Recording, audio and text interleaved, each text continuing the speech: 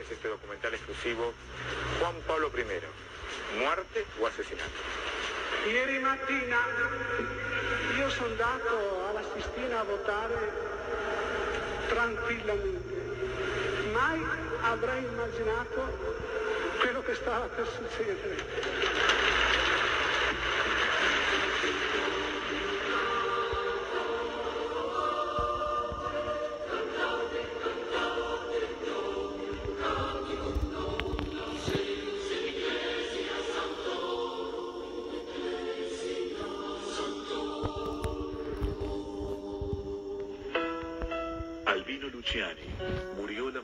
Del 29 de septiembre de 1978, apenas 33 días después de haber asumido el papado con el nombre de Juan Pablo I. Su muerte conmocionó al mundo entero.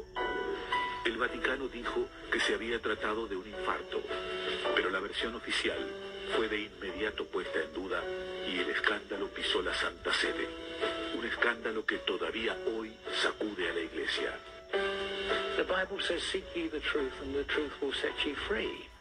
Uh, maybe that's a page that the current Pope has forgotten to look at lately. I mean, uh, we, we should direct him towards it. There's very little truth. I mean, what was it? I, I quote Luciani saying in the book, during those 28 days, he said, I've found two things in short supply inside the Vatican. One is truth and the other is a good cup of coffee.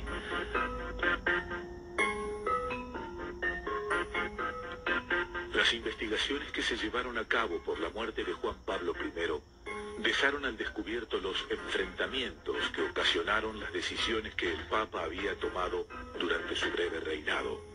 Sus posturas le habían creado muchos enemigos y demasiado poderosos. rappresentava una, una visione meno pessimistica sulla realtà di quel momento. Io vorrei ricordare per esempio che Luciani, che aveva questa fede eh, molto tradizionale, però aveva preso una posizione pubblicamente aperta in favore della pillola quando nel 68 si parlò del, del tema della contraccezione, oppure aveva delle idee molto chiare per quanto riguarda la dottrina sociale della Chiesa. ¿Por qué tiene esta actitud el Vaticano de falta de transparencia? Yo creo que porque está ocultando algo, algo importante, y son esos escandalosos negocios mm, vaticanos. Juan Pablo I tuvo desde siempre una actitud desafiante contra la desmedida acumulación de riqueza que ejercía el Vaticano y luchó durante toda su carrera por una iglesia humilde, apartada de los sectores más conservadores del catolicismo. un uomo che ha mostrato un aspetto di un Dio misericordioso, dolce, comprensivo, amabile, mite. Abbiamo bisogno di queste figure che ogni tanto non ci fanno dire ma in che brutto mondo siamo capitati. Tutti arrabbiati, tutti superbi, tutti vogliosi di chissà che cosa. Estaba dispuesto a vivir el Evangelio como Papa, no solamente a cumplir el concilio, sino a vivir el Evangelio con sencillez. Teniendo en cuenta ese compromiso y esos enfrentamientos, la muerte súbita de Juan Pablo I trajo aparejados de manera inevitable muchos interrogantes y un alto número de hipótesis contradictorias. Per quanto riguarda la morte di Papa Luciani c'è chi dice che è stato assassinato, c'è chi risponde che questa è una, una leggenda del tutto impossibile che venga assassinato un Papa. A chi risponde così io dico ricordiamoci che soltanto tre anni dopo al, Papa successivo stavano per assassinarlo in piazza San Pietro. Albino Luciani era una persona que desde joven había llevado una vida saludable y deportista. Realizaba ejercicios físicos, extensos paseos en bicicleta, caminatas por las montañas y se cuidaba en las comidas. Albino Luciani era una persona de bajo riesgo cardiovascular en general. Cualquier persona hipotensa es una persona que sufre pocos infartos, que tiene pocos problemas de hemorragias, no solo cerebrales, sino sobre cualquier otro órgano, que tampoco realizaba comidas copiosas, que no tenía antecedentes de arteriosclerosis, o por lo menos parámetros bioquímicos en la sangre que nos hicieran pensar en que pudiera tener el colesterol alto, los triglicéridos altos, los ácidos grasos altos, de manera que eso pudiera complicar un poco el estado de sus arterias y de sus venas.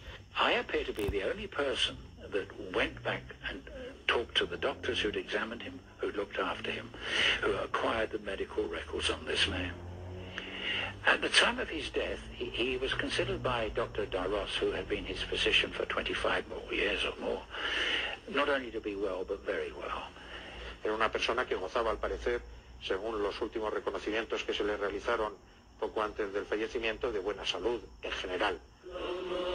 Pero hubo un detalle que no tenía que ver con dietas, ejercicios y medicamentos. Juan Pablo I, al mes de asumir, ya tenía previsto tomar decisiones radicales relacionadas con la política económica del Vaticano.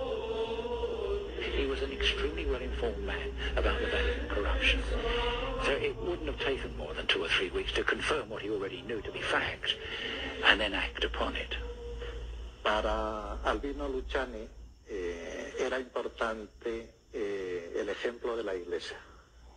El que la Iglesia pudiera aparecer mezclada en, en negocios y en escándalos económicos, no solamente asuntos económicos, sino escándalos económicos, para uh, Juan Pablo I era muy importante. El 28 de septiembre de 1978, el Papa había tenido un arduo día de trabajo.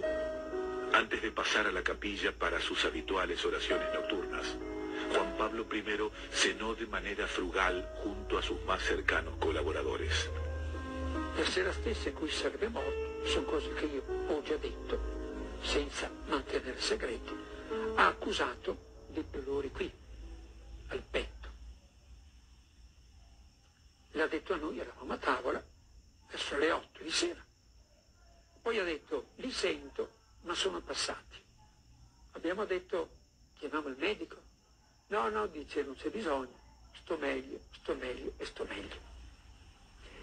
Poi eh, l'abbiamo accompagnato in camera verso le 9, abbiamo detto, senta, se questa notte avesse bisogno di aiuto, sopra il letto c'è, noi diciamo in italiano, un pulsante, un, un switch. You can get it, you can move it, you can call us. But he was calm. And he said, uh, as he went into his bedroom, uh, they said, we'll see you tomorrow, Holy Father. And uh, he used the Italian for, if God allows, and closed the door. El Papa solía despertarse todos los días a las 4 de la mañana, pero esa madrugada las cosas cambiaron. La sorta Vicenzina Taffarel che eh, quando non lo vide all'appuntamento solito in cappella per la celebrazione della messa alle 5 del mattino eh, si preoccupò e andò a bussare un'altra volta, vide questa tazzina di caffè che era già fredda e il Papa dunque non era riuscito a bere un caffè. Intorno alla muerte di Juan Pablo I, eh, eh, la primera hipótesis que se dio fue la oficial o el diagnóstico oficial de infarto agudo de miocardio.